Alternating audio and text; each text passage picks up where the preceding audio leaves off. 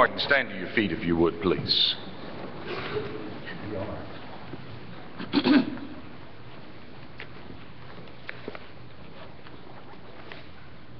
Our Father, you're righteous and you're perfect in every way you're holy and you're good and you're merciful and your love is forever and your grace is forever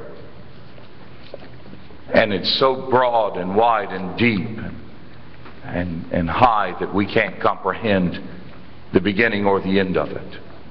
But you just envelop us in your love and grace and mercy. And we thank you for this. Thank you, Heavenly Father, that you are the Creator God who gives us this day, Heavenly Father, to bring honor to your name. Thank you, mighty and righteous Father, that you are, are always in control. And thank you, Heavenly Father, that even in this moment, the Lord Jesus maintains this world and this earth. And thank you, Father, that you give us hot days and you give us cool days and you give us moderate days in temperature to remind us, Heavenly Father, of, of your love and how your love uh, moves about us. Father, I pray that this day, this morning, this hour, that you would speak to your church. And I pray, Heavenly Father, that you would encourage your church. And I pray, Heavenly Father, that you would, that you would exalt Jesus Christ in this church.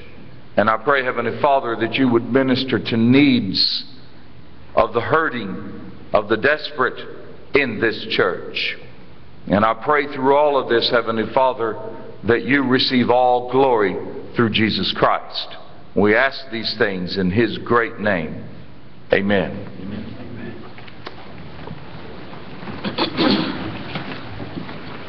Good morning. Morning. You know what I just thought about?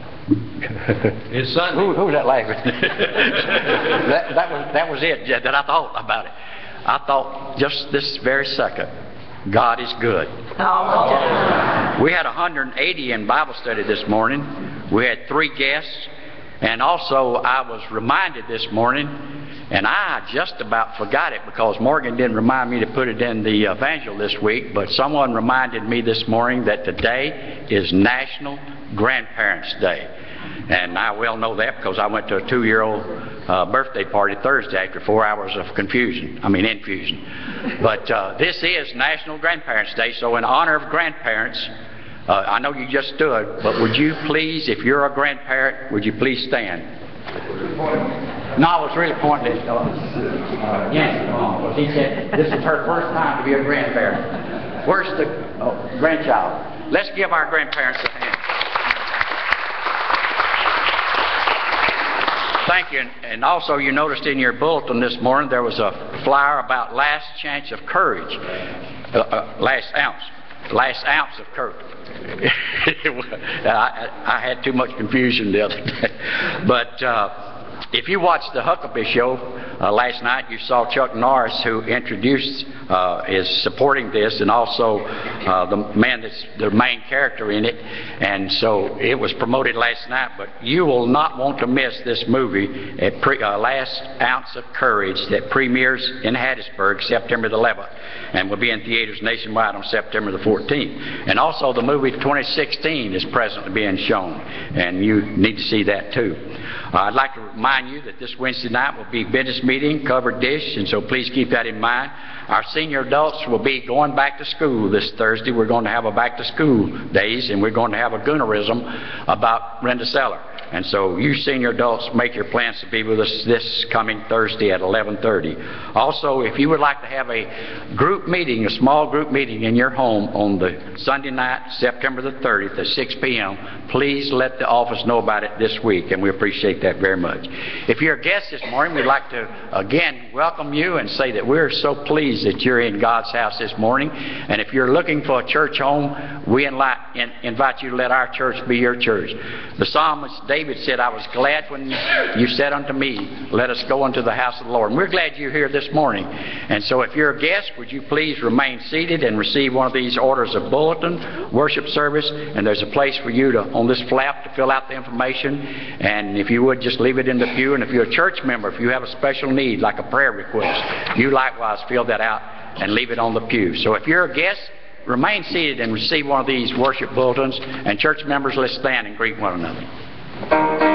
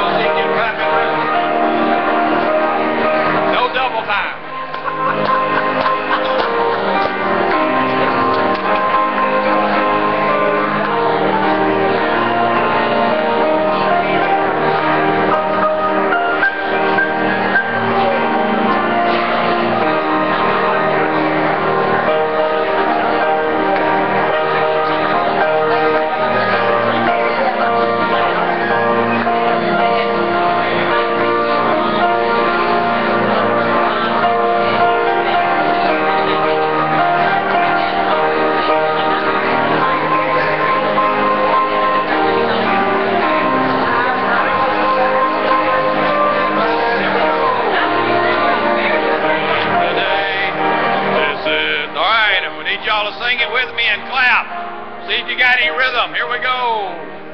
This is the day.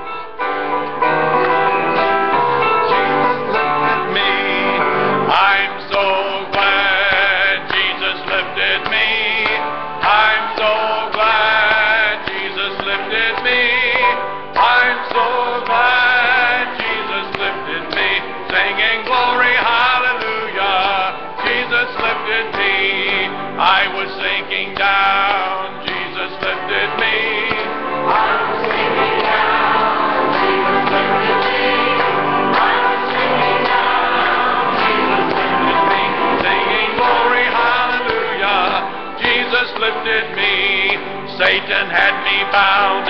Jesus lifted me. Satan had me bound. Jesus lifted me. Satan had me bound. Jesus lifted me. Singing glory, hallelujah. Jesus lifted me. I'm so glad Jesus lifted me. I'm so glad Jesus lifted me. I'm so glad Jesus lifted me. Singing glory,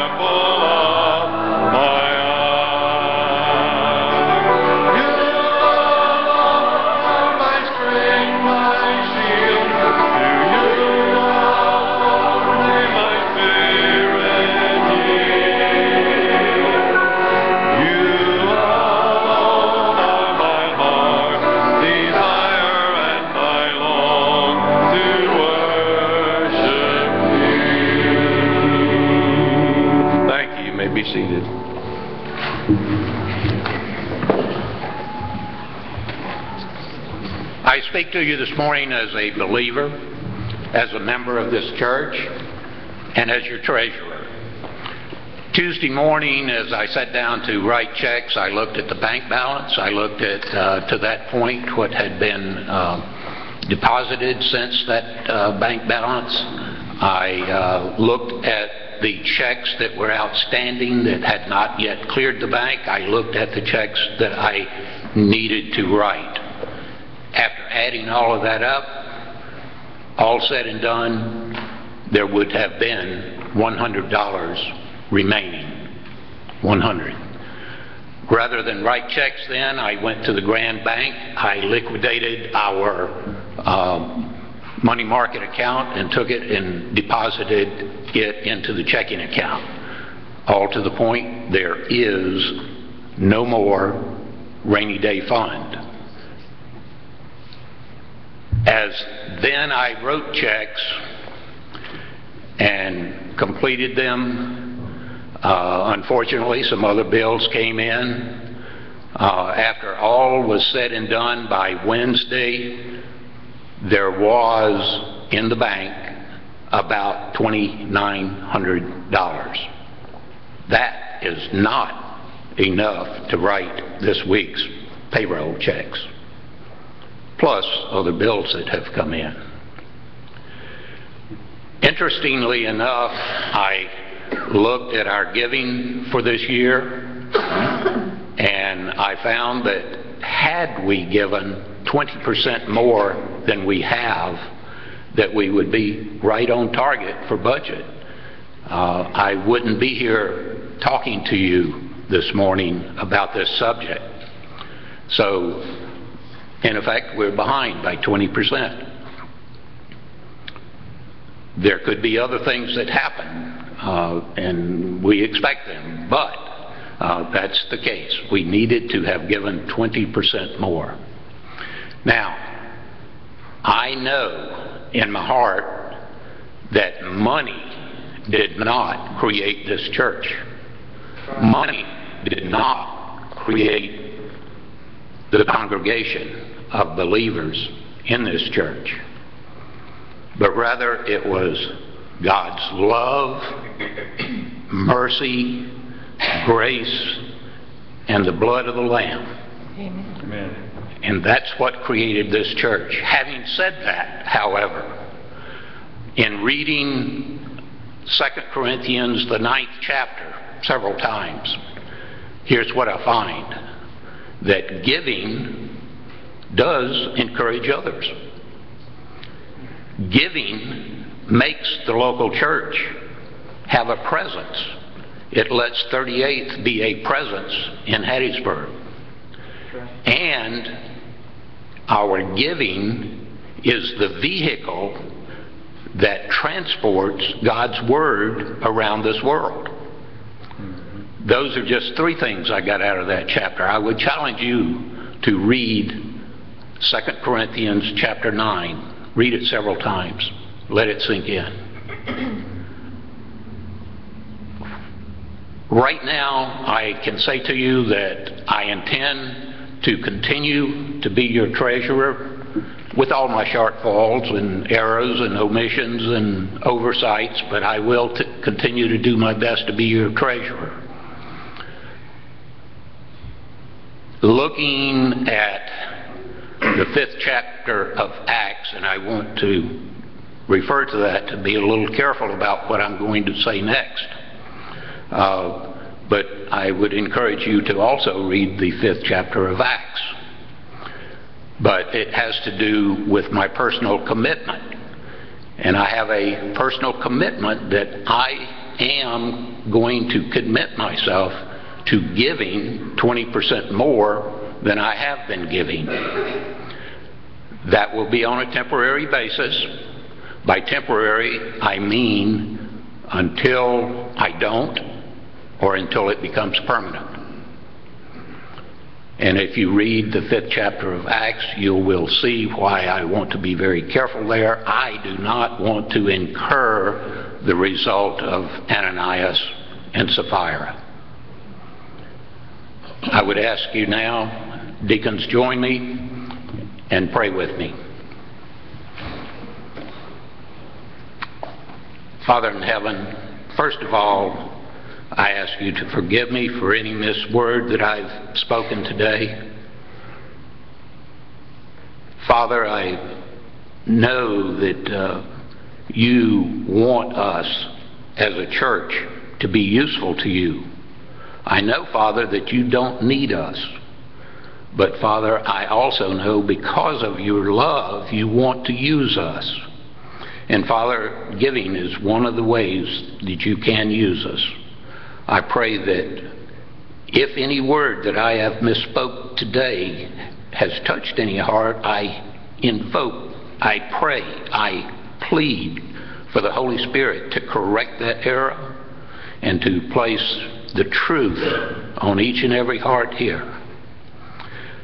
Father, as that young Olympian, Gabrielle Douglas, so aptly said, all glory flows up to you, and all blessings flow down from you.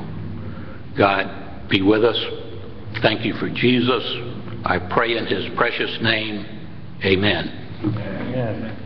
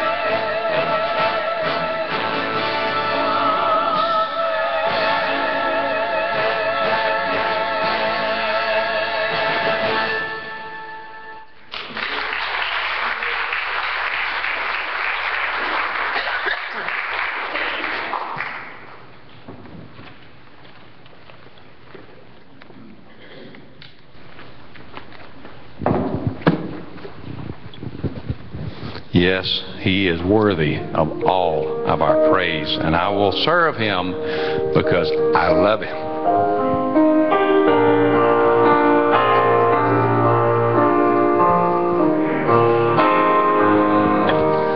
I will serve thee because I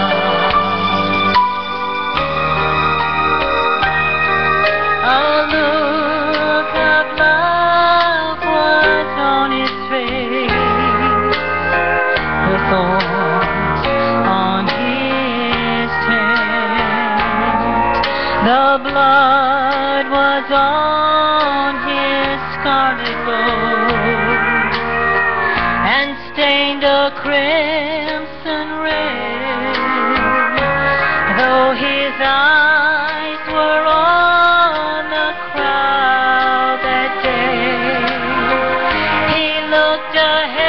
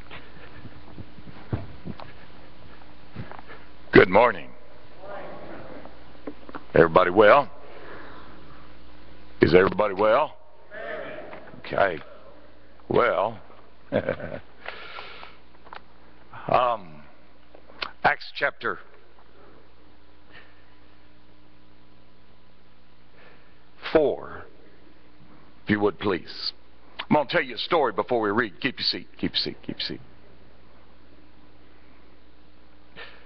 I want to tell you a story before we read it. Excuse me. They changed my meds so I wouldn't cough. Um, there's a man in the 20th century named Duncan Campbell. Matt, Nick, you guys need to study Duncan Campbell. You need to. Go get his biography. Read about him. He went to the Hebrides Islands, which is off of Scotland, and um, in 1949. He'd not just gone there for just a week or so. He went there and he stayed there for for two, three, four years as he went to that place, and um, he went from church to church, from town to town. One of the times that he was there in 49 or perhaps 50, uh, he went to the village of Arnol. And that was a cold place. Y'all ever been to a place that's cold? Y'all ever been inside? You visited some other churches and it was just cold inside. You know, you could skate down the aisles. Y'all ever been that kind of place before? Well, that's how it was. Everywhere he went, people didn't care. They were aloof. They were reserved. They didn't want to hear the gospel. And so he called for a prayer meeting, and they went to the house of a blacksmith. And they prayed at the house of a blacksmith. Blacksmith was named John. Campbell, at one point during the prayer meeting, said, John, I think the time has come for you to pray. And so the blacksmith prayed, and he took his cap in his hand, and he held onto his cap. And right in the middle of his prayer, he raised his right hand to heaven, and he said, O God, you made a promise to pour water upon him that is thirsty, and floods upon the dry ground. And Lord, it's not happening. That's kind of bold, don't you think? He paused again and then he continued, Lord, if I know anything about my own heart, I stand before thee as an empty vessel, thirsting for thee and for a manifestation of thy power. He stopped again, and after a moment of tense silence, he cried out, O God, your honor is at stake. And I now challenge you to fulfill your covenant engagement and do what you have promised to do. In that very moment, the house shook and the dishes rattled in the cupboard, and wave after wave of God's power swept over the house where they were. And Duncan Campbell remembered at that point, and he told this to the man that wrote the book I got that from. He remembered at that point this passage in Acts chapter 4. And being let go, they went to their own companions and reported all that the chief priest and elders had said to them. So when they heard that, they raised their voice to God with one accord and said, Lord, you are God who made heaven and earth and the sea and all that is in them, who by the mouth of your servant David have said, Why did the nations rage and the people plot vain things? The kings of the earth took their stand, and the rulers were gathered together against the Lord and against his Christ. For truly against your holy servant Jesus, whom you anointed, both Herod and Pontius Pilate, with the Gentiles and the people of Israel, were gathered together to do whatever your hand and your purpose determined before to be done. Now, Lord, look on their threats and grant to your servants that with all boldness they may speak your word by stretching out your hand to heal, and that signs and wonders may be done through the name of your holy servant Jesus. And when they had prayed, the place where they were assembled together was shaken, and they were all filled with the Holy Spirit, and they spoke the word of God with boldness. Father, this is your word, and I trust you to speak to us through this word today, and I want to give you glory and praise through Jesus Christ in this moment. Amen. Now, as we look at this passage of Scripture and we see what we have in front of us, and as we think of the story that came from 1949 1950 with Duncan Campbell and what happened in the Hebrides Islands, as we think of this, I want you to think today of ground shaking prayer. And what is it and how is it that God moves and how God shows himself powerful in this time, but perhaps not in that time? And I've looked this over and I'm going to give you, before I'm finished, five specific words that I think are components of what we need to have ground shaking prayer this morning. The first word that I want to give you that describes this ground shaking prayer is unity. And I want us to see what God's Word says when we talk about unity. In verse 24, after Peter and John and the former lame man had come together where the rest were, after they got there and they told their story to this group of people, when they heard that, they raised their voice to God with one accord. You see, unity is one of the priority factors here. In fact, unity must be a priority for us. Turn back a few pages, if you will, to John 17. Let me show you what our Lord Jesus Christ says to us this morning. The Bible says this in John 17, beginning in verse 20. I do not pray for these alone, but also for those who will believe in me through their word. Now, I'm including that verse so you will understand that he's talking about us here. He's not just talking about the disciples themselves and the early church. This includes all of us at this moment. And what does he say? Verse 21 That they all may be one, as you, Father, are in me and I in you, that they also may be one in us that the world may believe that you sent me. And the glory which you gave me I have given to them, that they may be one just as we are one. I in them, and you in me, that they may be made perfect in one, and that the world may know that you have sent me and have loved them as you have loved me. You see, unity must be a priority because this is one of the priority things that Jesus prayed for just before he was crucified. One of the things that Jesus desires more than anything else is that churches walk in unity. And this priority stands before us today.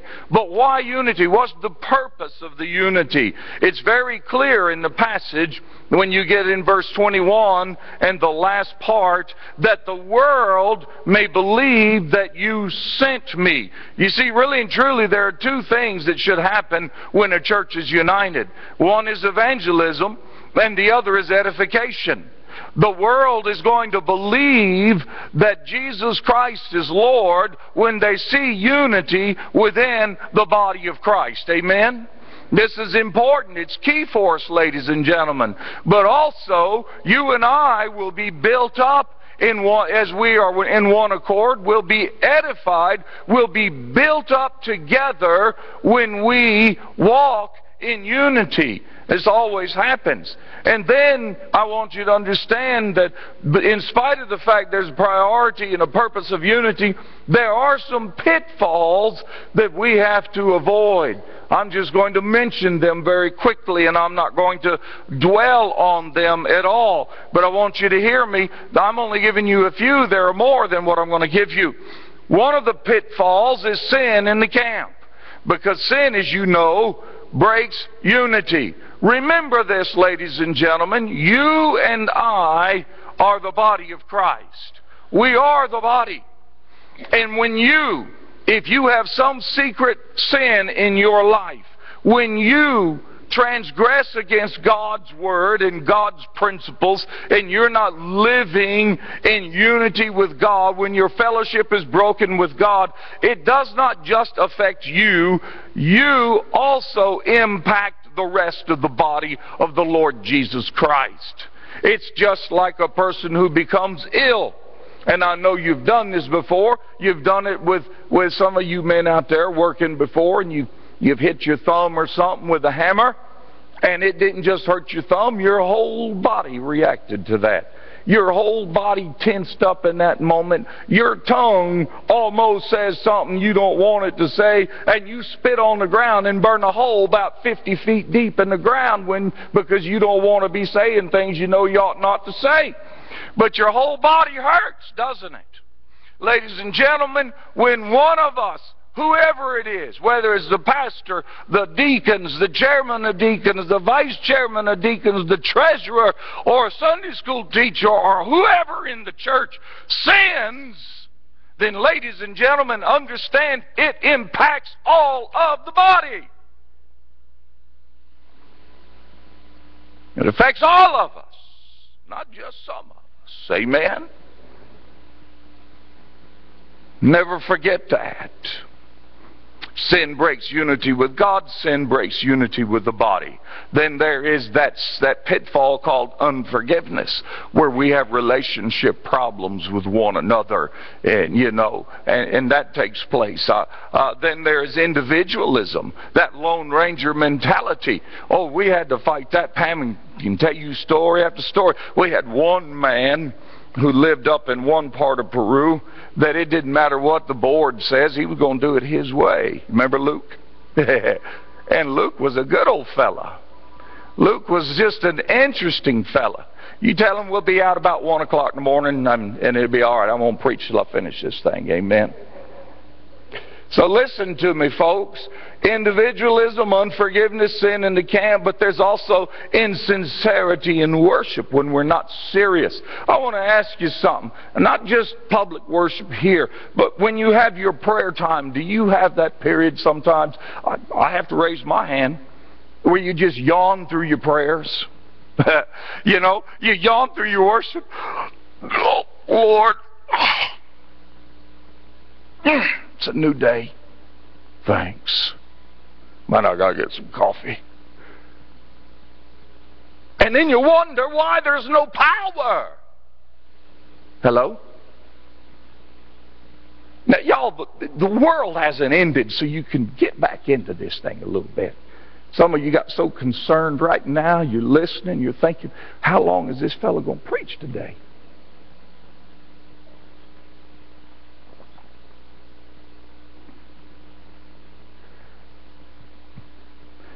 All of these things will impact impact unity. And then there's another one that I want to mention. It's called unbelief. The Bible says in Hebrews chapter 3 that when we have an unbelieving heart, it's an evil heart. And unbelief will impact unity. I just don't believe God can do it. Well, I want to tell you something. God can do it, and God will do it. Amen? That's our Lord. So unity is important. The next word that describes uh, a ground shaking prayer is the word humility. We need to humble ourselves before Almighty God. And I want to show you something from the text because this prayer in Acts chapter 4 uses three words to describe God. The first word that's mentioned there in verse 24 is the word Lord, but it's not the normal word for Lord that we would use. It's the word in the Greek that translates as despot. And it's talking about master. And you need to recognize God as your master. You see, the Sanhedrin, the rulers and the elders had power. And they recognized that the rulers and the elders had power. But they said, You, God, have absolute power. You are the absolute ruler this morning, Lord. And this word master is that word right there. Let me ask you something. Is Jesus the absolute ruler of your heart? Is he the master of your heart? When you humble yourself before God, you need to recognize him as the master of your heart.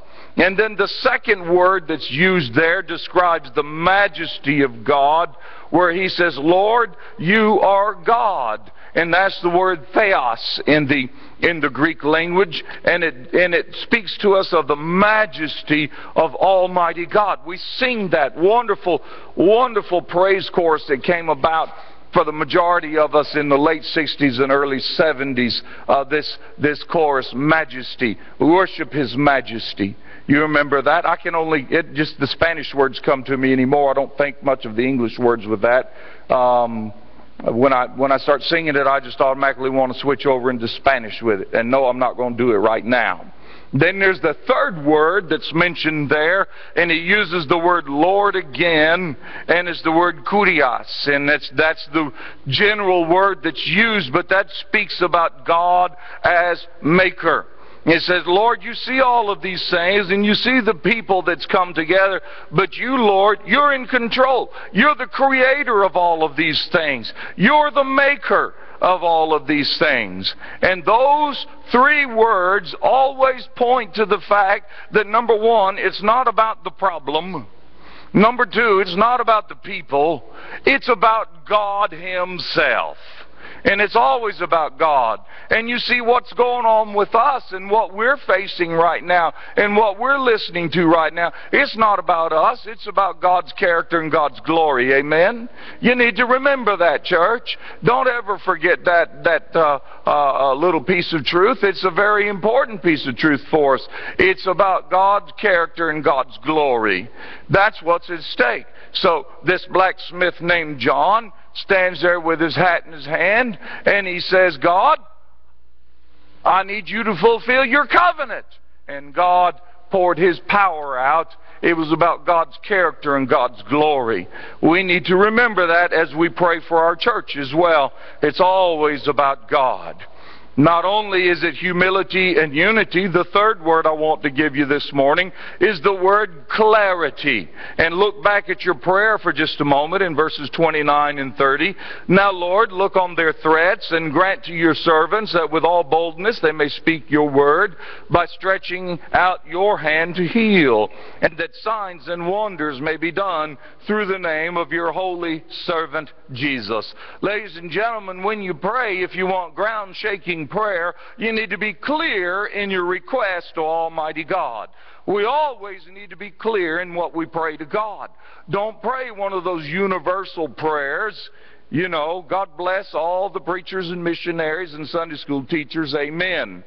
Don't pray that way. Be clear when you pray. Choose and be specific as you pray for situations. And as we pray for our situation as a church, we need to be clear about what we're praying for, exactly and precisely what we're praying for. But not only should we be clear, we need to be consistent with God's character as we pray.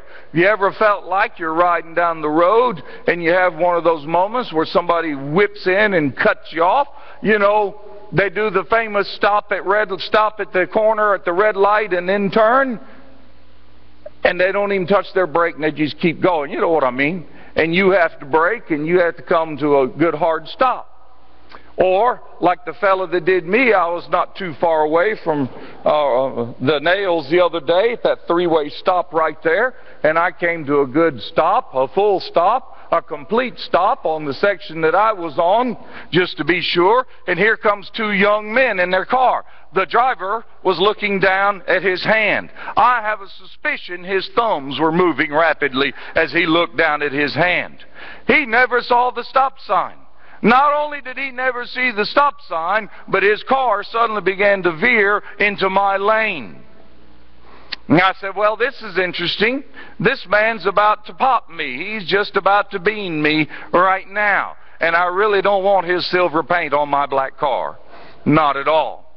But I didn't swerve. I kept my course straight. I thought I'm going to see what happens with this fellow. His passenger was getting a little wide-eyed, watching his friend run the stop sign and watching his friend as he's looking downward and he's not looking up. And at the last minute, the guy jerked his car to the side.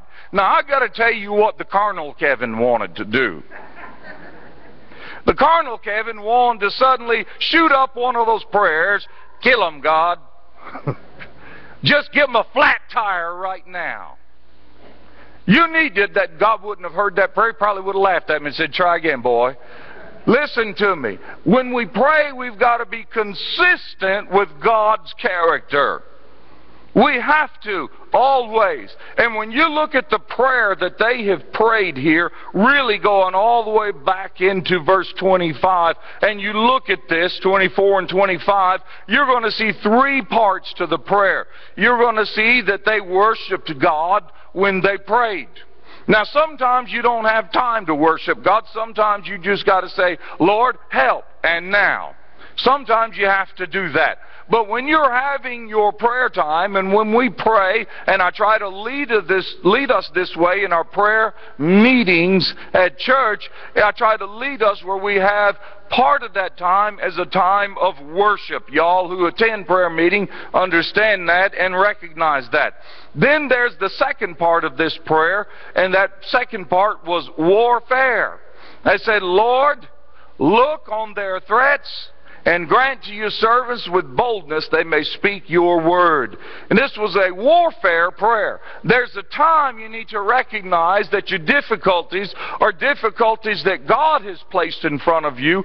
They're mountains that God has placed in front of you to strengthen you spiritually. But there's also a time you need to recognize that the mountain in front of you is a devilish mountain, not a divine mountain, and that you've got to stand against that, that devilish mountain in the the name of Jesus and do warfare against what's in front of you in that very moment.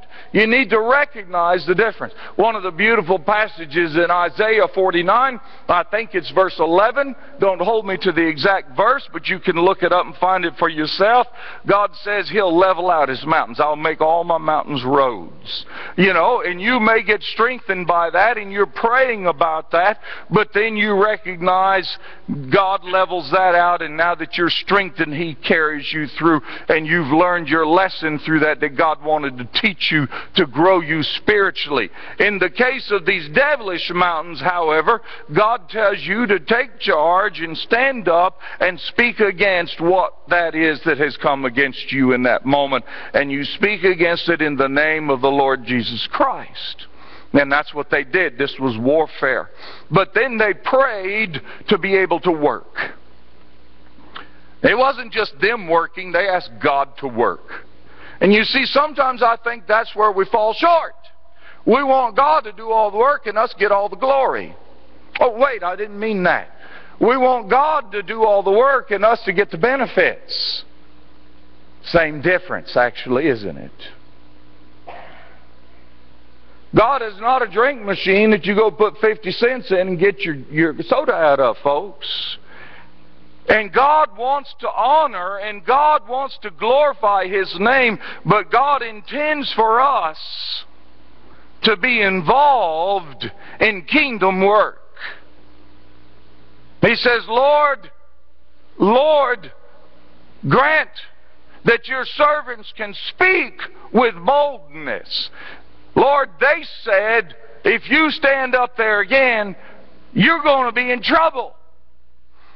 So, Lord, we need a little bit of boldness right now to go back out there. Because I won't be honest with you. If someone came in here right now and said, You say one more word, I'm taking you to jail, I'm going to be honest with you. My next breath, my heart would go up a little bit as I said the next word. It would be a little nerve wracking for me. I've got to tell you, it would not be as easy to speak the second time as it was the first time. You know what I'm saying? And these fellas had just come away from a council that they knew had the power to kill them. They'd already crucified Jesus. And they knew that. And they said, So, Lord, what are we going to do? We're going to move down to the next town and going to start there. No, sir. They said, Lord, we got to get back out there, so give us the boldness to get back out there. But Lord, we need you to work too. We need you to show yourself strong and yourself mighty as well, Heavenly Father. So you stretch out your hand and you do you do uh, uh, these things, these signs and these wonders and and uh, these miracles. You do that, Heavenly Father, while we're doing uh, what we must do. Be consistent with God's character. And then, thirdly, be confident, ladies and gentlemen. When you pray, pray with faith. When you pray, expect it to be done. When you pray, pray in Jesus' name and be confident as you pray. Let me give you another word quickly, and it's the word urgency. And you need to see this and understand this because it shows up twice in the passage of Scripture. Not the very word itself, but the concept of urgency.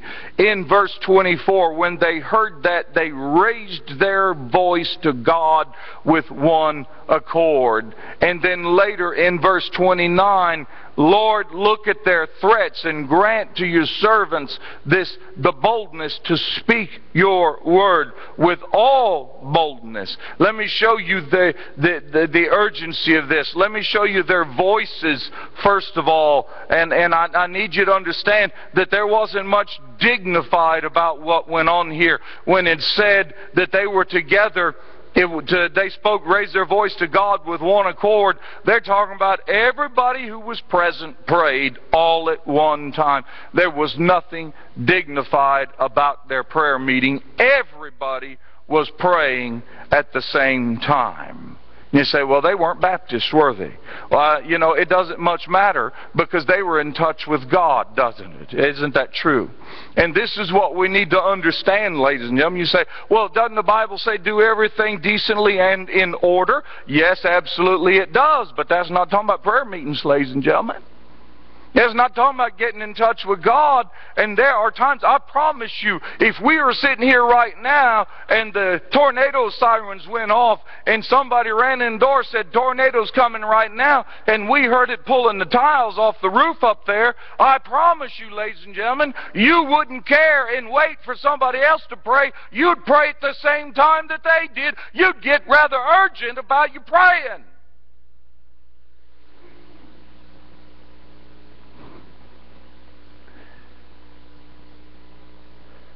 And they all prayed at once. By the way, if you look at Hebrews 5 7, just write that down in your margin uh, or, or somewhere and look it up later because we don't have time now because the roast is burning or something like that. And, uh, but, but hear me well. Listen to me, ladies and gentlemen. Hear me. Jesus prayed with strong crying and tears when he prayed. And we're not better than Jesus. Hello?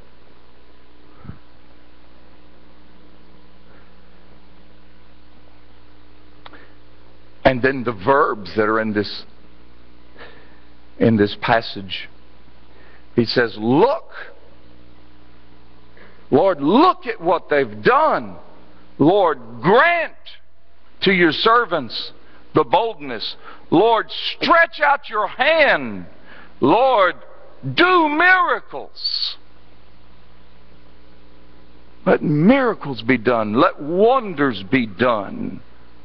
Do all of these things. He was very clear and they were very urgent for God to work. Now, I'm going to finish, and I'm going to finish quickly, but I want you to hear me. There's one more word for you there that I want to give to you, and it's the word opportunity. The word opportunity. And opportunity says it all. Verse 31 when they prayed, the place where they were assembled together was shaken, and they were filled with the Holy Spirit, and they spoke the word of God with boldness. The place was shaken, the people were filled, and the word was preached, ladies and gentlemen. They took the opportunity and they went forward for the glory of Jesus Christ. They did not back up, they went forward. I want to tell you about David Green. David Green lived in Oklahoma. And in 1986, his modest business was collapsing. Not just his, but the oil industry in that part of Oklahoma was sinking. Everything was sinking. And they came to David and said, You're at the point of closing your doors of bankruptcy right now. And that's what they said to him. David Green went into his office and he crawled up under his desk in the little part where normally your legs would sit. And he crawled up under there and he began to pray. And he said, God, you are God. and only you can turn this thing around for me. And today you don't know David Green, and you've probably never met David Green. But let me tell you, you have gone to some of David Green's uh, stores before. One of them's right here in Hattiesburg. It's called Hobby Lobby. And in 2006 alone, they did $1.6 billion worth of business. But David Green said it didn't happen till I went to God and I asked God to take charge of my business and my finances. You see, God's in the business of glorifying His name. And God's in the business of turning things that look difficult into things that are delightful when His name is glorified with it.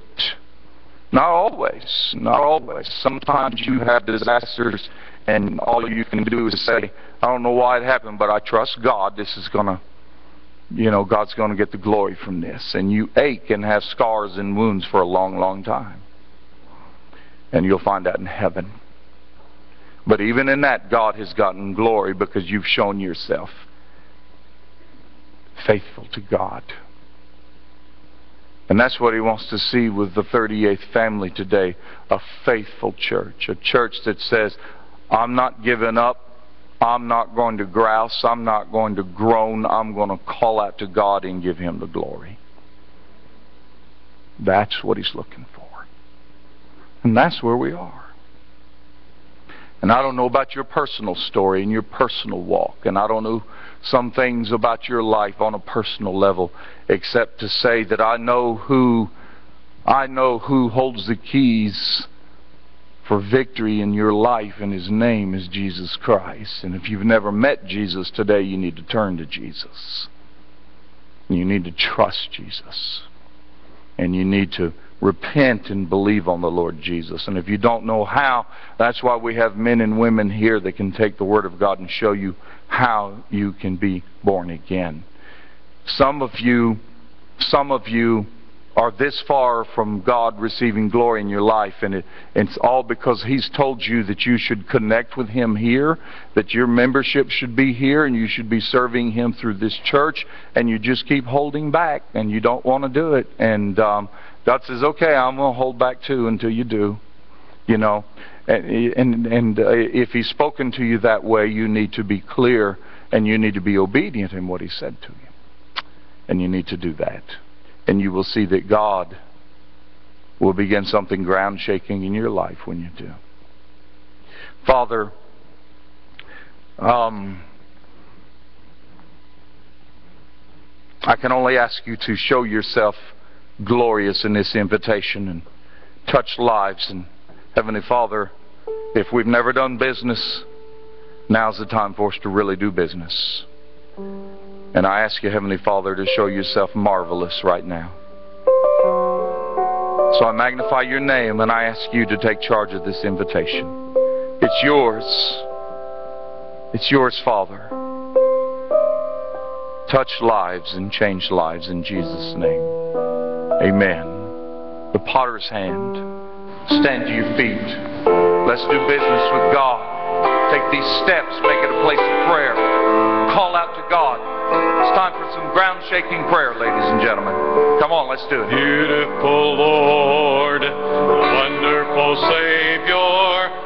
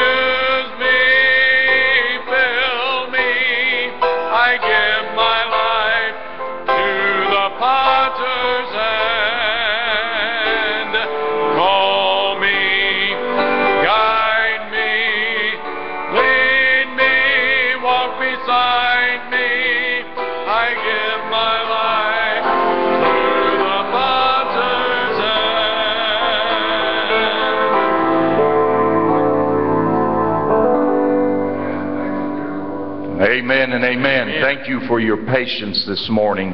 This has been, in some ways, a solemn assembly, and we understand that, but I've checked in, and Jesus still sits on his throne, Amen. and he's still Lord. Amen. Yes, indeed.